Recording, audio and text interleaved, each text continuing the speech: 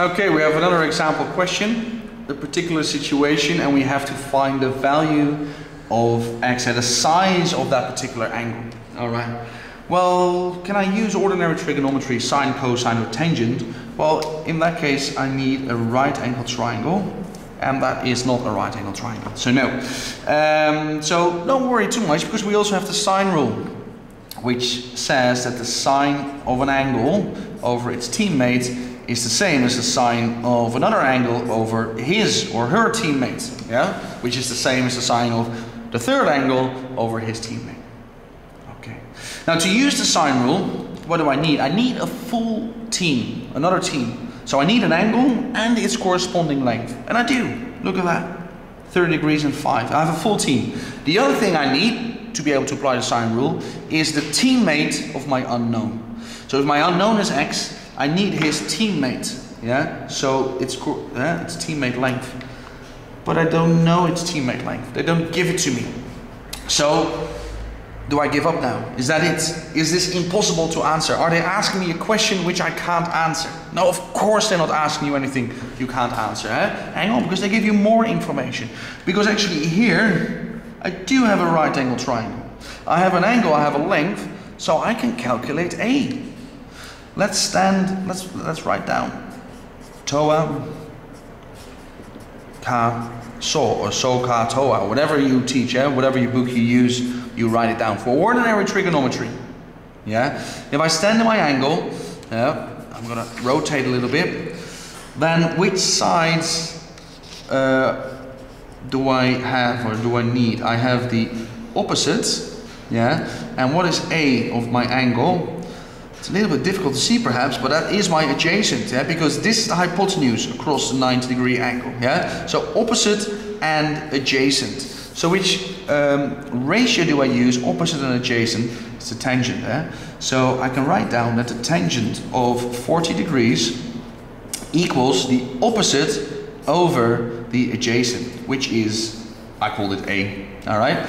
And if I rearrange that, so I times this side by get rid of that fraction. So a times the tangent of 40 degrees equals 6. And then I divide both sides by the tangent of 40 degrees. Yeah, that's only equal if I do that on both sides.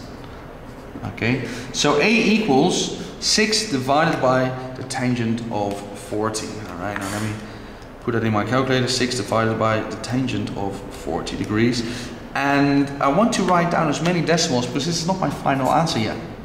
So please do not already start um, rounding this up or down.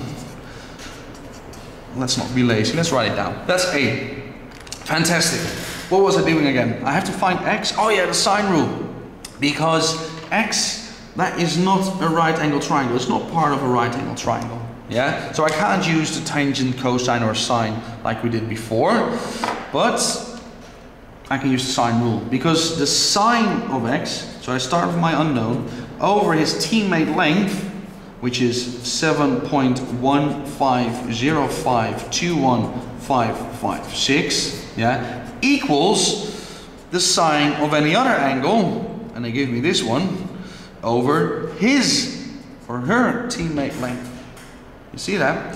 So the sine of x equals, and I'm going to grab my calculator because I don't have a lot of space left. I'm going to put in the sine of 13 equals divided by 5 equals times it by 7.150521556 equals I hope you understand what I've just done. Oh, and it's gone now. I have to do it again. Sorry. The sine of 30, I'll do it a little bit quicker, divided by 5 times 7.150521556. All right. Um, I was saying, did you see what I did? I rearranged that, so I multiply both sides by my denominator here to make x the subject. Uh, five, five, six. But that is a bit of a small angle, eh? and I told you before, remember, do not forget, when you're looking for the angle, when you have to find the size of that angle, it is the sine of x that equals that. So to find x, we have to do the inverse sine, Remember that? So shift sine to the power minus 1, the inverse of that particular answer. And um, angles we give correct to one decimal place, so 45.6 degrees, that is the size of angle x, yeah? So to find that size, first I had to apply some, let's say, ordinary trigonometry. So I could actually apply the sine rule, okay? Good, that was that. Um, or shall we do one more? Let's have a see. Let's have a look.